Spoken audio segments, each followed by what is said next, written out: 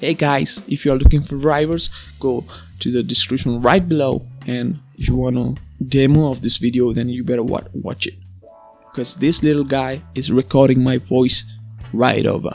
So today is the video about uh, Behringer U-PHORIA UMC22 audio interface. It is a uh, phenomenal interface for its budget configuration and I recommend everyone to buy this for uh, first interface I think it should be U-PHORIA UMC22. It has got um, uh, multiple channels to input. Uh, we got one input for microphone and one input for any other uh, instruments for your project like bass guitar, guitar, acoustic, electronic, anything else, and you can use a amp, virtual amp, or any other amps inside the DAW. Okay, so what comes in the box? That's always a question so uh, we get this box. This is our interface. We get this cable that connects to the computer which I'm connected to. And you get one of this fucking stickers again.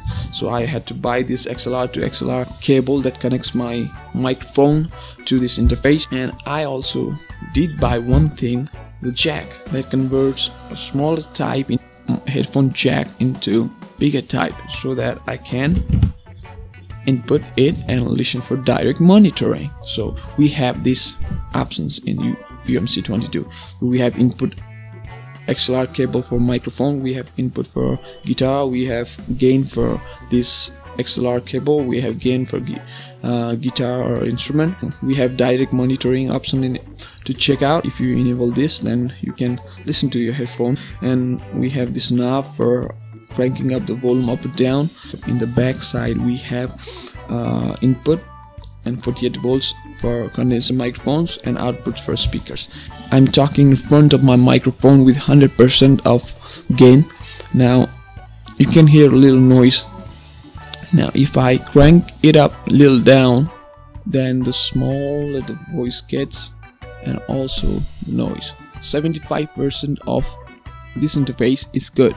For drivers I will uh, put the links in the description you get two types of drivers because this Behringer does does not have its own driver. You get either the default Behringer driver or ASIO for all driver.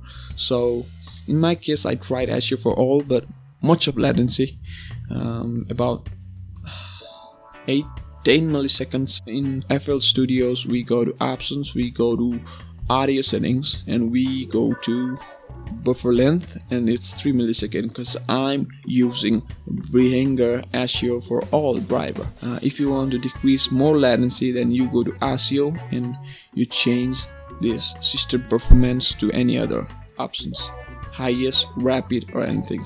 You better watch your system requirements and everything. Maybe your computer can lag okay that's all for this uh, U-PHORIA UMC22 it's a, a positive audio interface to purchase so I recommend you buying this if you are a beginner in it